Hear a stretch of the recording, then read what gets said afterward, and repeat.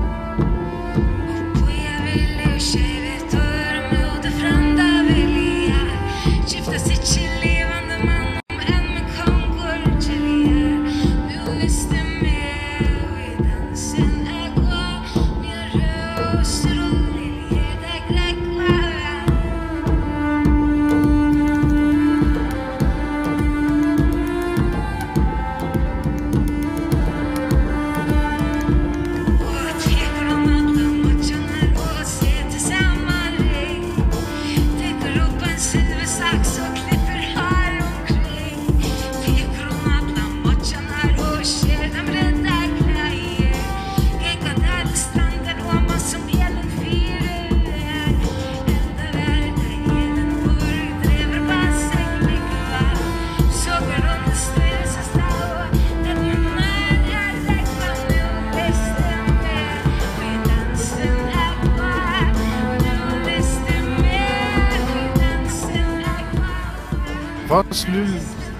det blander nogle øh, meget gamle instrumenter som drejlire og øh, fløjter og alle mulige slagtøj med elektronik. Så først øh, det var de gamle, helt gamle instrumenter, og så prøvede vi at blande med elektronik.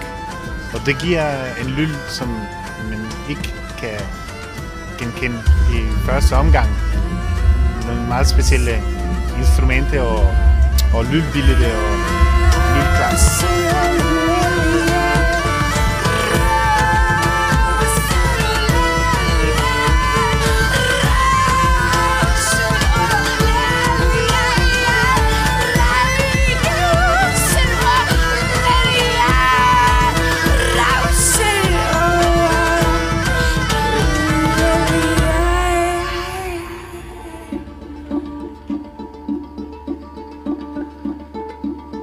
Från där till landarna och axlar hon sitt kinn.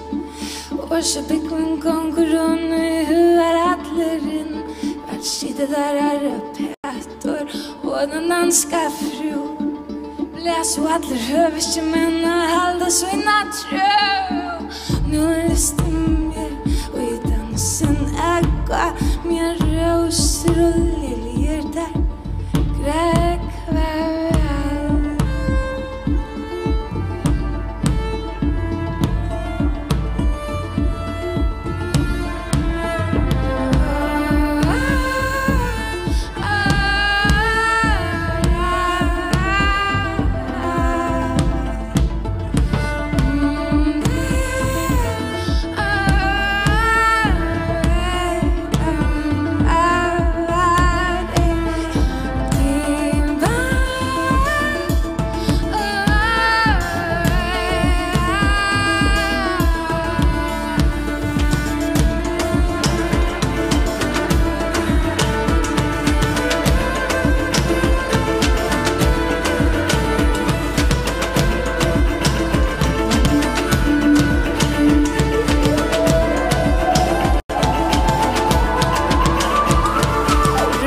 også, altså lyden opstår jo efter, at man har et mål efter at, at finde en, eller man er fascineret af en lyd, som er sådan antik, eller sådan helt noget ur, og noget helt